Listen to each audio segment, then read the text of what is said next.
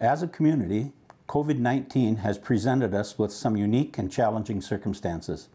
As a city, we have taken steps which enable us to best respond to this pandemic.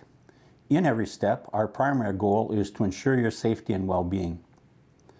Over the last several weeks, we have made some difficult but critical decisions, such as closing most city facilities and asking much of our staff to work from home. We have also been in collaboration with our community partners, including public health, the hospital, schools, nonprofits, and the private sector. The City of Grand Rapids continues to provide essential services, including police and fire protection, water and sanitation, and maintaining our transportation infrastructure. I know these are trying times.